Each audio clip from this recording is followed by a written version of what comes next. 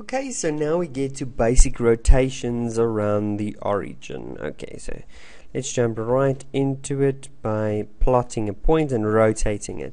So there's a point, well, no, there's the coordinate system. There's a point, okay, we're going to call that point x comma y and let's start with a 90 degree rotation so we're just going to look at the basic rotations in other words 90 degrees and 180 degrees a 19 uh, degree rotation around the origin. The origin. Okay so what does that actually mean? Okay well it simply means that what I do with that point is I connect it to the origin okay with a line connected to the origin.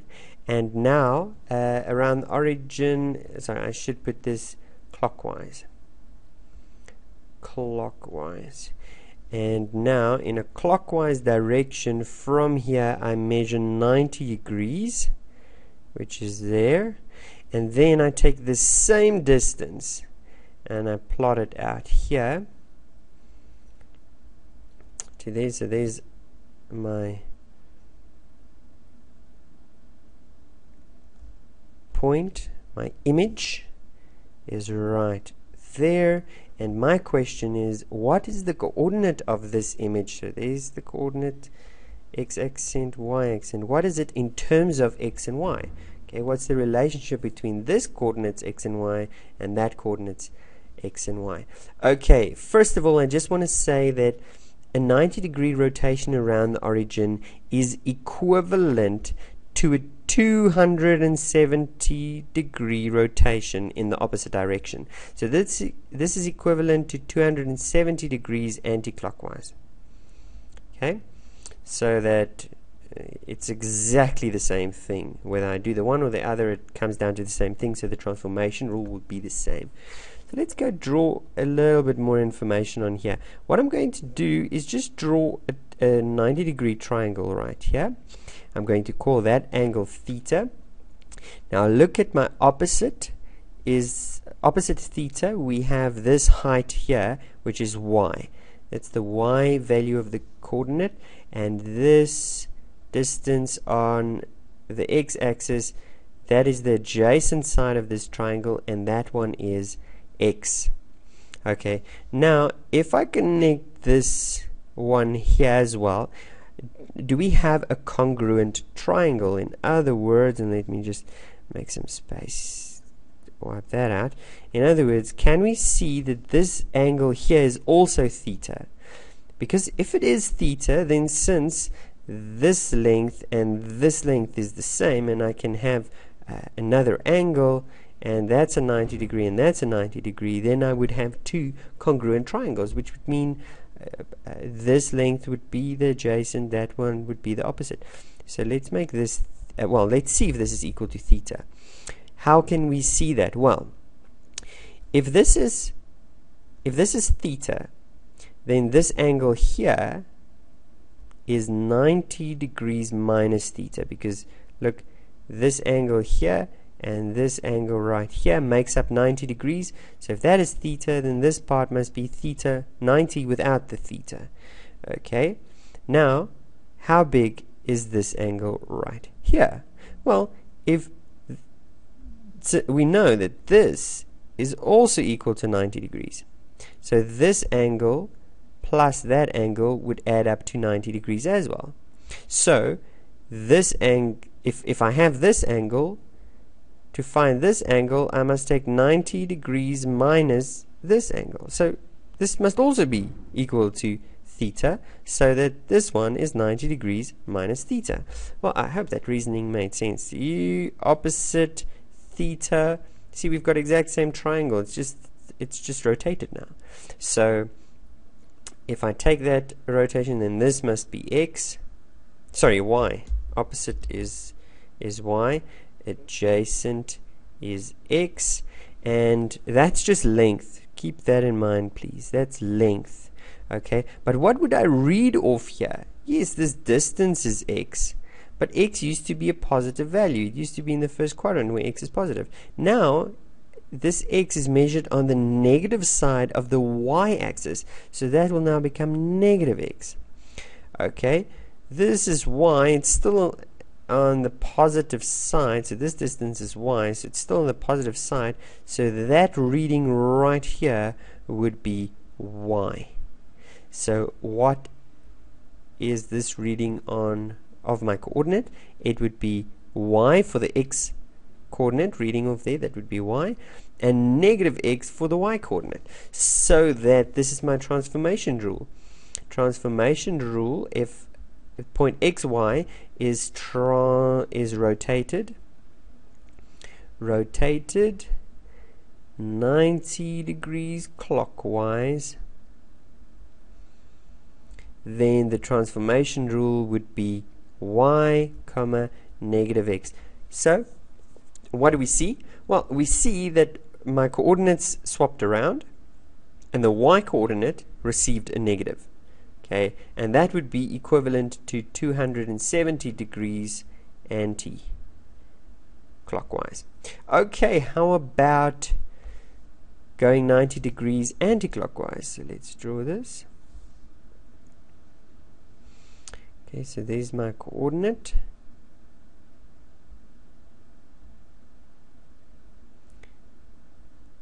okay and uh, that's the coordinate x comma y. And I rotated 90 degrees. Wait that does not look right. 90 degrees. To there? Okay. And look at this. There's kind of a, my triangle that I am rotating 90 degrees. So what happens to that triangle? Well, there's that triangle. You see that? So, okay, there's my theta. It gets rotated in this direction 90 degrees. So that point, let's color coordinate again. That point is that point. Okay, so I'm only really considered is considering that coordinate, but to do that, I I'm I rotate actually a whole triangle and see what happens. So that point becomes that point and this point here just stays that point there. Okay, can you see the triangle rotated? So this is the angle theta. That's the angle theta. This used to be y and this used to be x. Now opposite is still y and adjacent is still x which means now I can see that this height here is x units high and this distance from there to there is y units long but it's on the negative side of the x-axis and x used to be positive so this would be negative y. Ne uh, sorry y used to be positive so this must be negative y. So what happens to a transformation of or rotation transformation. So it's a rotation.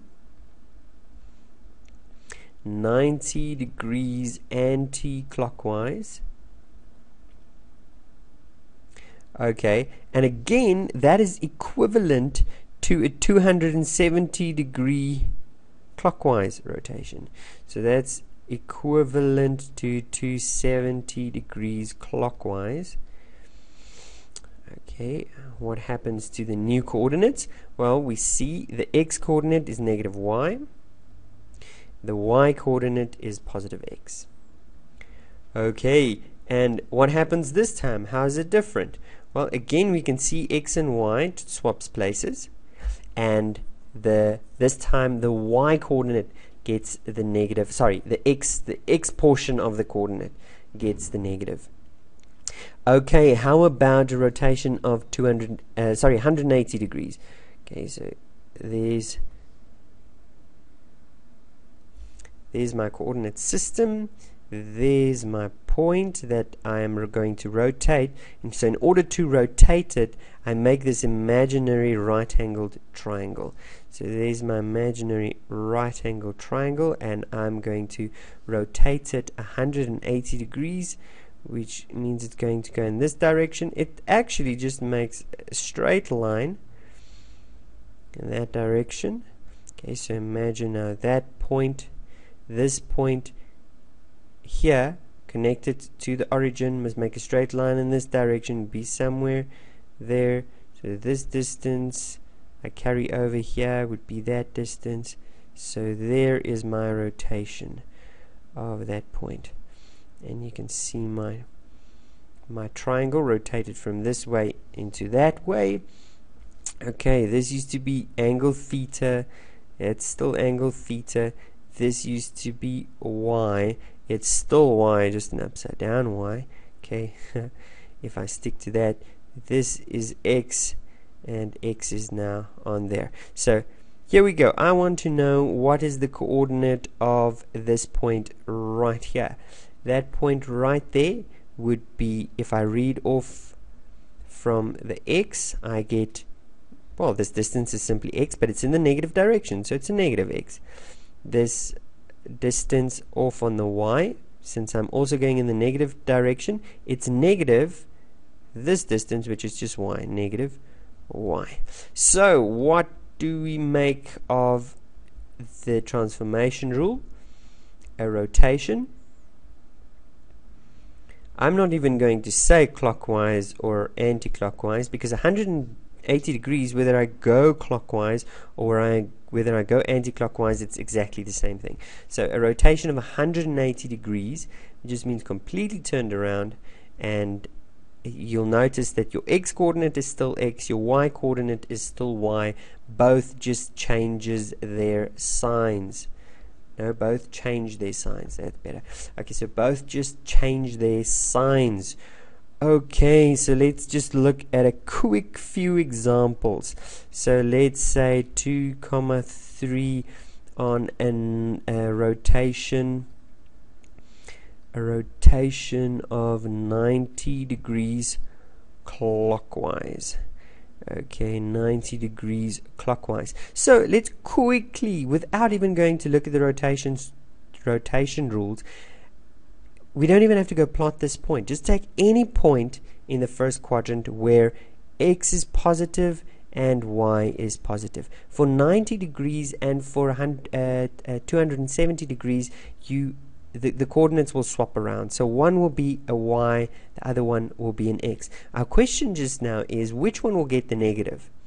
Okay, so I'm going to 90 degrees clockwise, which means I'm going in this direction. So what do I notice when I get into this quadrant? Which quadrant has a negative value?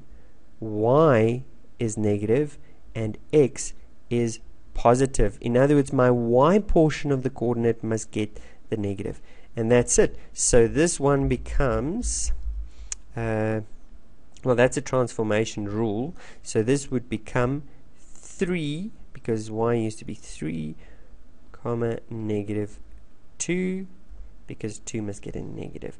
Okay let's take a point like negative 4 1 and we rotate it a rotation of 270 degrees clockwise. Clockwise. So we draw a brief sketch. Just take any point in the first quadrant, okay?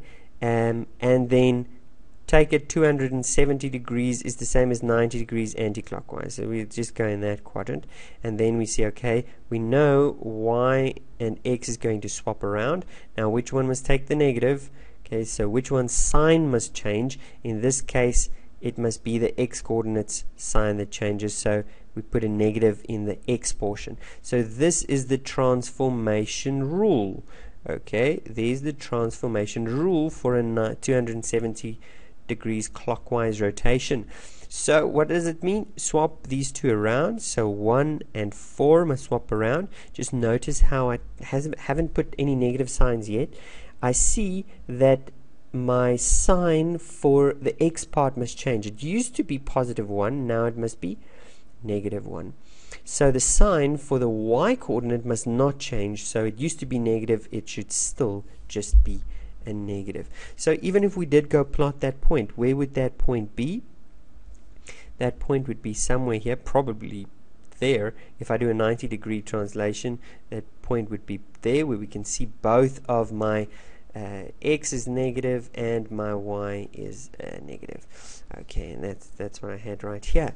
last example, a rotation of let's say uh, 1 comma negative 2. Rotated rotation of 180 degrees. Okay, remember they stay the same 1 comma 2 but both sign changes. So this one used to be positive, it becomes negative. This one used to be negative, it becomes positive. Okay, what if you forgot how to do it? Well, you can just go plot the point and actually do it physically just very quickly. It, it wouldn't even take you long. So I really think rotation is, is a very, very simple, even though a little bit more complicated than the others, still a very simple procedure. And uh, it's actually only rotations that's not 90 degrees or 180 degrees and such and the such that we're doing in the next lesson that's actually a bit more complicated. But for now, let's do a few more of these examples in the next couple of videos. See you there.